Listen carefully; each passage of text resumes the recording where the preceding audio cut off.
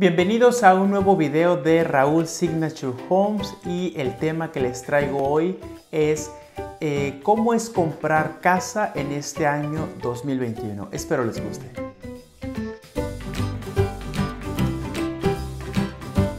La situación actual del mercado prácticamente en todo Estados Unidos, pero obviamente eh, en California, aquí en el área de la bahía, es de un mercado eh, sumamente agresivo. Ahorita les voy a platicar algunas experiencias que he tenido para, pero pues para todas aquellas personas que deseen comprar casa actualmente, tienen que saber que existen varios factores. Eh, factor número uno, hay menos casas en venta en el mercado.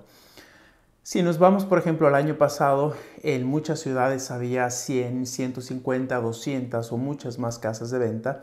Actualmente en las ciudades, por ejemplo, si me voy a Tracy, mañana voy a ir a Tracy a, mostrar unas casas ahí, solo hay 36 casas en el mercado en todo Tracy. Imagínense, 36. El año pasado había casi 200 casas en venta. Entonces tenemos menos inventario. Otro factor muy importante, esencial, es que los intereses bajaron.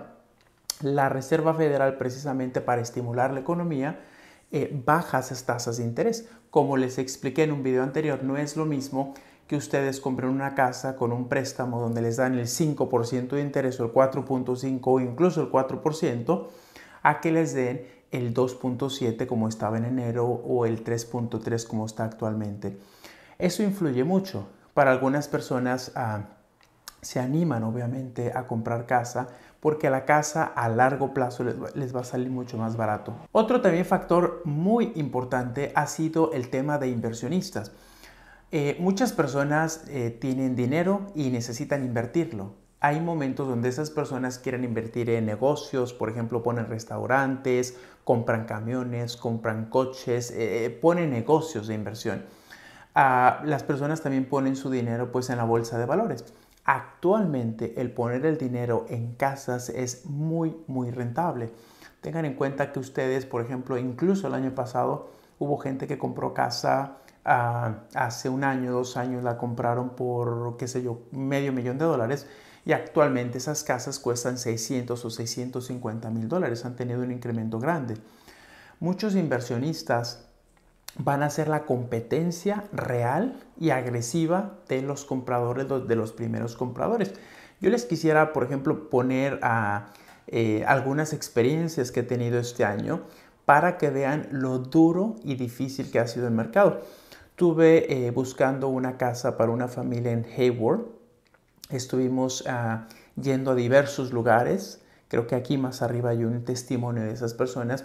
Y prácticamente el resumen era este el año pasado, las propuestas que estábamos presentando para una casa con otro tipo de personas, se presentaban dos, tres o incluso cuatro propuestas de compra. Había una casa, cuatro distintas personas interesadas en esa casa. Eh, mi experiencia en Hayward en enero fue que eh, había, el promedio era entre 20 y 30 propuestas de compras por la misma casa. Siguiente ejemplo que les quiero poner que para mí realmente fue durísimo, durísimo, por la, capacidad de, que tenían mis clientes de comprar un condominio. Me llamaron y ellos querían comprar un condominio aquí en San Mateo o en Foster City. Y este, empezamos a hacer el recorrido, visitamos varios condominios. El presupuesto de ellos pues era alrededor de un millón de dólares. Y ah, obviamente siempre yo les sugiero a mis clientes ir un poco más abajo para pues tener un margen de negociación. Ah, se trataba de una propiedad mucho más cara. E hicimos nuestra primera propuesta de compra y la, la, pues la, la novedad que nos llevamos durísimo fue que ofrecimos 50 mil dólares más de lo que estaban pidiendo, 50 mil dólares. Y aún así quedamos en octavo lugar. O sea, se presentaron 20 propuestas de compra para un condominio que de hecho ya estaba caro que de hecho estábamos ofreciendo 50 mil dólares más y hubo alguien que precisamente fue un inversionista que llegó y presentó una propuesta en cash. Simplemente dijo cash y pagó 100 mil dólares más que nosotros. Eh, presentamos la segunda, tercera, cuarta, quinta propuesta de compra y poco a poco la fuimos perfeccionando y eh, llegamos a presentar una propuesta de compra pues altísima con cero condiciones. Es decir, firmamos contrato, compramos la casa sin ninguna condición. Esta es la situación real del mercado. Hay muchas personas que están sufriendo eh, y eso es muy frustrante. Y por lo tanto, eh, yo le sugeriría para todas aquellas personas que están pensando en comprar, hay personas que se pueden esperar, hay personas que no se quieren esperar. Mi consejo, si pueden, si tienen una financiación, aprovechen. Aprovechen los bajos intereses y ustedes no saben.